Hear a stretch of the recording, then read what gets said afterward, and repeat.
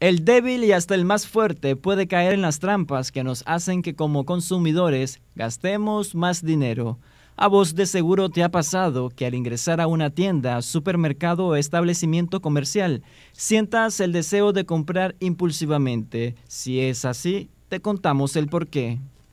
La razón por la que terminamos comprando cosas que no necesitamos es porque eh, la ubicación de los productos, la sensación que le puede causar un determinado producto está, más, eh, está analizándose cada vez más las reacciones de nuestro cuerpo y, y sobre esa base se identifican dónde deben de estar los productos, qué productos deben de estar a la vista qué tipo de consumidor soy y, el, y no solo en los supermercados, sino que también en cualquier otro lugar en donde estamos. Y esas técnicas que nos hacen invertir más dinero en cosas que son innecesarias se debe al trabajo que realiza el neuromarketing en nuestra mente a través de las empresas.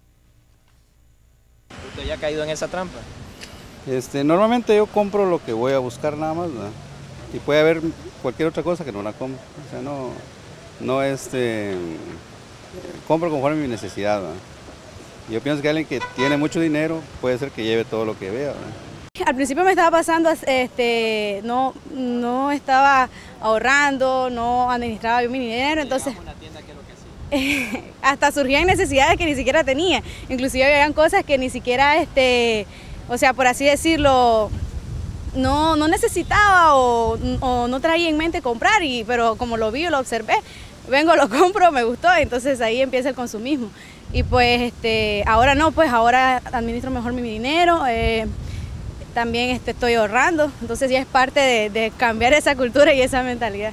En los últimos años, las marcas ya no se enfocan en vender el producto o servicio o realizar ventas agresivas. Hoy los estrategas de marketing estudian los gustos y la mente de los seres humanos para crear un aumento en el consumismo más del 25%, solo el 25% de, nuestros, de, nuestras decisiones financieras son racionales. Más del 60% de las decisiones que nosotros tomamos a diario en relación a una compra están basadas en cómo nos hace sentir ese producto o qué creemos que nos puede generar eh, ese producto o qué sensaciones nos genera.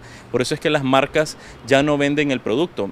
Antes de actuar impulsivamente, debes recordar que tu mente es mucho más poderosa que una simple estrategia de publicidad o neuromarketing y así evitar gastar dinero. Jimmy Romero, Voz TV.